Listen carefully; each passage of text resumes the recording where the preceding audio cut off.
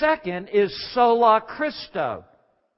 Solo Cristo, which is Christ alone, and this drives even deeper into the heart of the debate of the 16th century and the Reformation, for Christ Himself must be the object of our faith, for Christ alone, through His death upon the cross, has provided the only sufficient atonement to make a covering for our sins.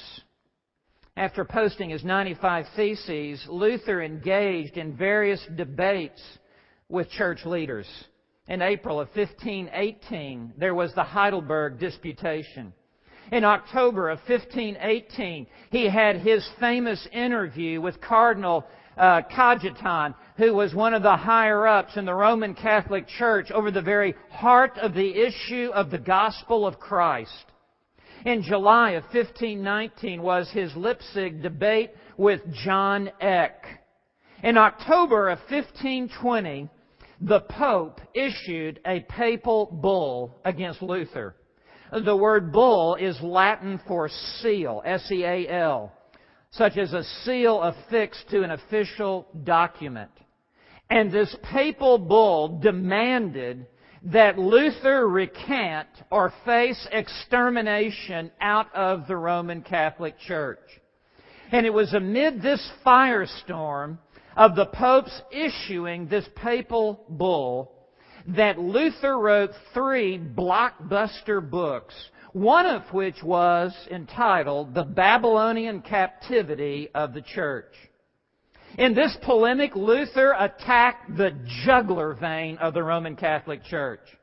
He attacked the priesthood. He attacked the sacramental system by which Rome brings every person's act under the power of the priest. This sacerdotal system, Luther represented as the Babylonian captivity of the church, and Rome as the whore of Babylon.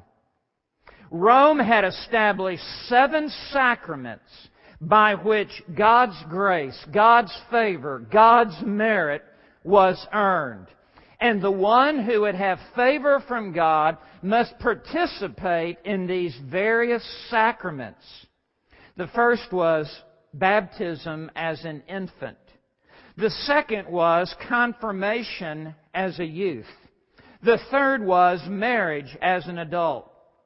The fourth was extreme unction on one's deathbed. And then there was also the taking of Mass throughout one's life on a regular basis.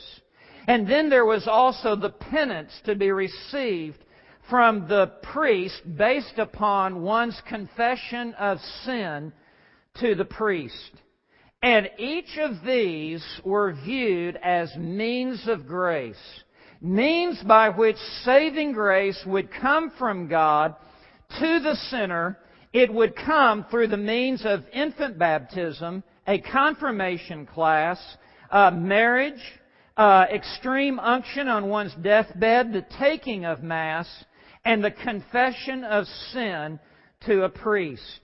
Each of these were seen and viewed as conveying grace. And Luther attacked the very evil of the priesthood. And he attacked the corruption of the gospel of Christ in this. Luther studied the Bible and said, no. All saving grace comes directly through Christ alone, independent of the priesthood, and independent of the sacerdotal system, and independent of all rites and rituals Saving grace comes directly through Christ alone. Luther said, the cross alone is our theology, unquote.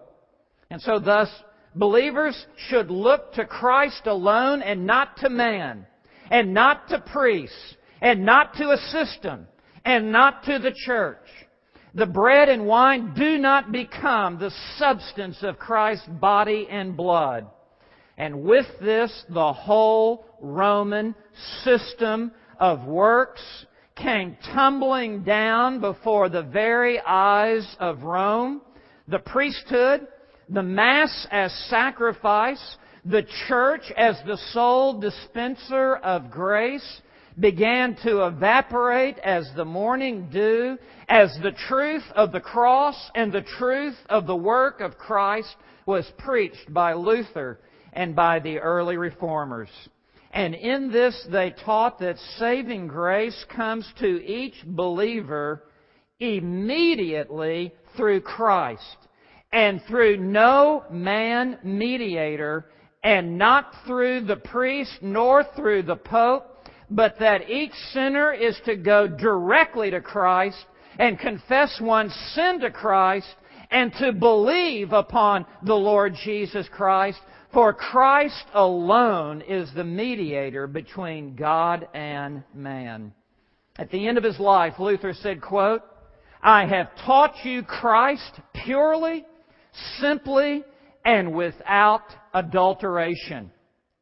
Luther went on to say that everyone who puts their faith in Jesus Christ is a priest unto God who has direct access to come before the throne of God above. There is no need to go to Mary in order to get to God. There is no need to go through the Pope or priest, but every believer in Jesus Christ is made a priest in the kingdom of God with direct access before the throne of grace. 1 Peter 2 verse 9, Peter writes to all of the believers, You are a chosen nation, a royal priesthood, a royal priesthood. Every believer who is elect by God is a royal priesthood, a holy nation, a people for God's own possession. There, there is no priesthood except the priesthood of every believer in the body of Christ. In Romans 1, uh, Revelation 1 in verse 6, Luther appealed to this passage. Christ has made us to be a kingdom, priest to his God and Father, unquote.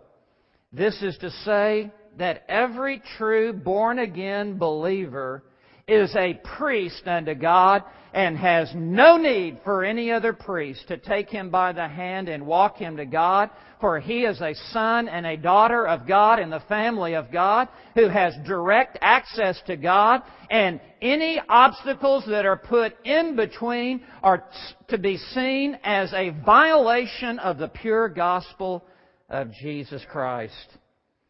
Luther, in his own words, said, quote, this is that mystery which is rich in divine grace to sinners, whereby a wonderful exchange.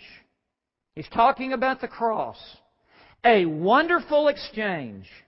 Our sins are no longer ours, but Christ's. And the righteousness of Christ is not Christ's, but ours. He's talking about the exchange of the cross that all of my sin was laid upon Christ and His perfect righteousness now laid upon me and imputed to me. He receives the worst about me. I receive the best about Him. This is the wonderful exchange of the cross. Luther went on to say, Christ has emptied Himself of His righteousness that He might clothe us with it and fill us with it. And He has taken our evils upon Himself that He might deliver us from them. Unquote. This is the very heart of the true gospel of Christ, that salvation is by faith alone in Christ alone. It is by faith alone, apart from any baptism, any human efforts, any church membership, anything that we would add to faith alone. And it is in Christ alone, apart from any priest, any pope, any religious leader, faith alone. In Christ alone. Herein is the true gospel of Jesus